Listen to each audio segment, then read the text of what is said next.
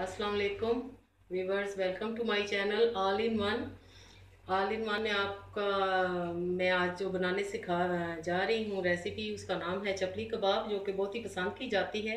और ये व्यूवर्स बहुत ही टेस्टी चपली कबाब बनेंगे। और बिल्कुल घर के मसालों से कोई इसमें डब्बे का मसाला यूज़ नहीं होगा। तो उसके लिए, अगर आपको मेरी वीडियो पसंद आए तो मैं, मेरे चैनल को प्लीज़ ज़रूर सब्सक्राइब करें। और उसके साथ ही बेल आइकन को भी दबाएँ, जो कि बिल्कुल फ्री है। तो चलें, बिस्मिल्लाह करते हैं, अपनी रेसिपी की तरफ़ आते हैं और शुरू करते हैं। चपली कबाब बनाने के लिए मुझे जिन चीज़ों की ज़रूरत है, वो ये हैं। ये बीफ का कीमा है हाफ़ के जी और हाफ़ ये मसाले हैं, ये अदरक लहसुन को मैंने ना कुंडी में पीस के अभी फ्रेशली रखा है। ये तकरीबन one one teaspoon, one tablespoon ये हो गया। One tea one tablespoon अनारदाना, वन टीस्पून सफ़ेद ज़ीरा, वन टेबल स्पून साबुत धनिया, one one and half teaspoon नमक इसमें जाएगा, एंड हाफ़ टी स्पून हल्दी जाएगी और वन टेबल स्पून इसमें कुटी हुई लाल मिर्च जाएँगी और वन टीस्पून इसमें जाएगा गरम मसाला, ठीक है? ये तो हो गए मसाले। इसके साथ साथ इसमें जाएगा तकरीबन चार टेबल स्पून मकई का आटा। वीवर्स आप मकई के आटे की जगह इसमें बेसन भी यूज़ कर सकते हैं। कोई उसमें ऐसी बात नहीं है। और ये जो आपको मसाला सा नज़र आ रहा है, इसमें मैंने लिए हैं दो मीडियम साइज़ प्याज, चार हरी मिर्चें आधी गटी पुदीने की और आधी गटी धनिया की, जिसको मैंने ना चॉप कर लिया है बारीक, ठीक है? तो उस दो हमें एग चाहिए इसके लिए। तो चलें, शुरू करते हैं। आप, मैं इंग्रेडिएंट्स बीच में डालती हूँ। सारे मसाले इसमें डाल, बिस्मिल्लाह रहमान रहीम।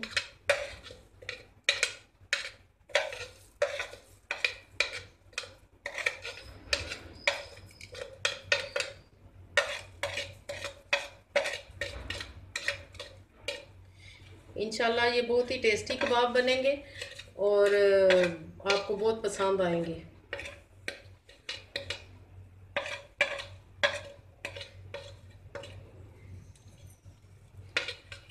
तो जब आप बनाएँ तो प्लीज़ कमेंट ज़रूर कीजिएगा कि आपके कबाब कैसे बने।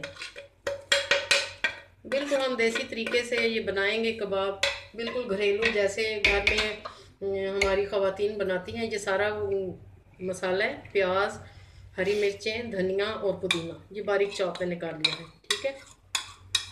ये भी हम सारा इसमें ऐड कर लेंगे।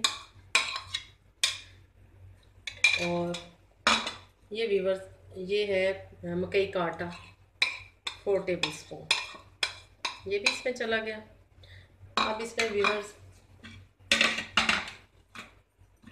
ये दो अंडे हैं। अंडों को हम एक एक करके ना अलग प्याली में तोड़ेंगे। बाज़ दफ़ा ऐसा होता है कि अंडा ख़राब निकल आता है, जिसकी वजह से आपका पूरा बैटर ज़ाया हो जाने का डर है।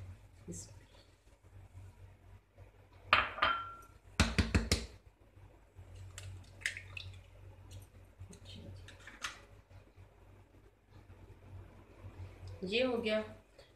अब बस इसको पहले आप ज़रा चम्मच से मिक्स करें, फिर आप हाथों की मदद से इसको अच्छी तरह आपने जैसे आटा गूंदते हैं ना वैसे मिक्स करना है। जी वीवर्स डाल सकते हैं। मैं इसमें एक टमाटर अभी आपके सामने चॉप करके डालूँगी।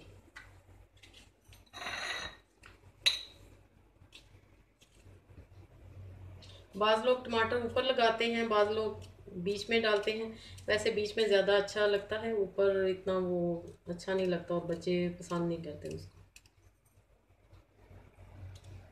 अगर आप बीज निकालना चाहें, टमाटरों के तो निकाल लें। मैं नहीं निकाल रही, मैं बीज, और इसमें इतने हैं भी नहीं है बीज। मैं बीज के समेत ही डाल रही हूँ।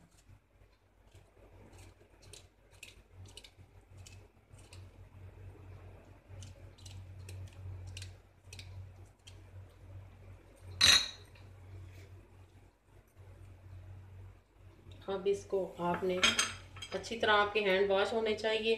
कोई रिंग वगैरह, उंगलियों में नहीं होनी चाहिए। और अच्छी तरह आप इसकी मैरिनेशन जिसे कह लें कि आपने करनी है, ताकि सारे इंग्रेडिएंट्स आप इसमें यकजान हो जाएँ।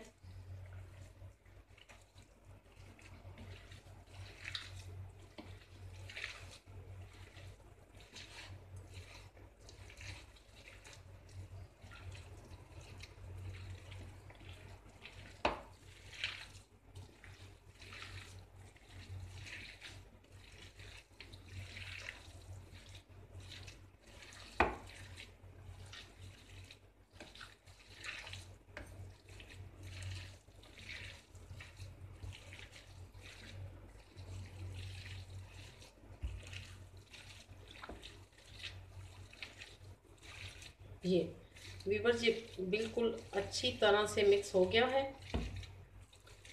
अब आप इसको तकरीबन आधे घंटे के लिए फ्रिज में छोड़ दें। आधे घंटे के बाद हम इसके कबाब बनाएँगे और फिर उनको फ्राई करेंगे। तो फिर उसके बाद नए सिरे से इन्हें ना बनाएँगे और फ्राई करेंगे। गोल कबाब बनाएँगे। मीडियम साइज़ के ना बहुत छोटे और ना बहुत बड़े और इनको तवे पे फ्राई करते हैं। क्योंकि चपली कबाब तवे पे फ्राई किए जाते हैं।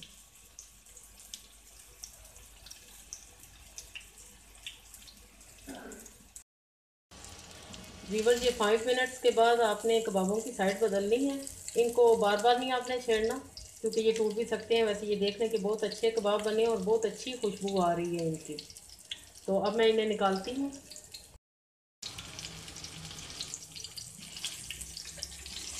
इनको मैं निकालती हूँ। ऐसे आप देख लें हैं इनको माशाल्लाह बहुत अच्छे कबाब बने हैं।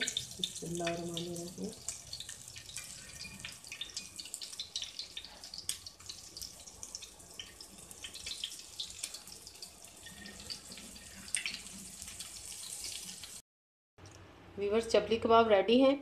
और बहुत ही अच्छे बने हैं। आपने ये ज़रूर ट्राई करने हैं और मुझे कमेंट्स में आपने ज़रूर बताना है कि आपके कबाब कैसे बने। इसके साथ मैंने ग्रीन रायता भी बना लिया है, जो कि बहुत ही कम्प्लीमेंट करता है। तो मैं, अगर आपको मेरी रेसिपी अच्छी लगी है तो मेरे चैनल को सब्सक्राइब करें और बेल आइकन को ज़रूर प्रेस करें। और मुझे कमेंट्स में ज़रूर आप बताएँ कि आपकी रेसिपी रेसिपी कैसी बनी। अल्लाह हाफिज़।